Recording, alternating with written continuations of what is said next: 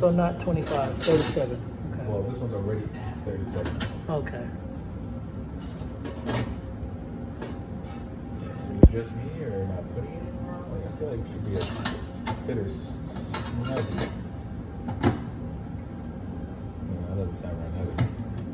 Oh no. I guess. So it's like a little die, and you set it up.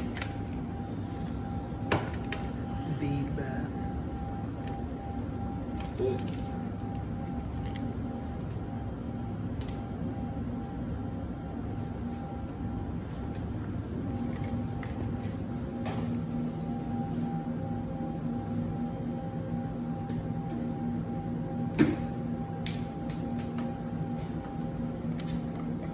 these um, bead baths and stuff like that, you don't really know where the internal probe is. So sometimes you just kind of move it around, have it like catch up, you know. Gotcha. Try to find a, sweet sweet spot. spot. Yes, sir. And um, that's it. Okay. Pretty simple. I just know that they're a pain because it's beads. It doesn't really heat properly Yeah. beads.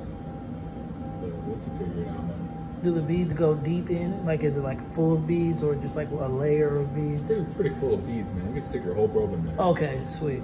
Maybe like an inch or two of it, so you can stick it at an angle.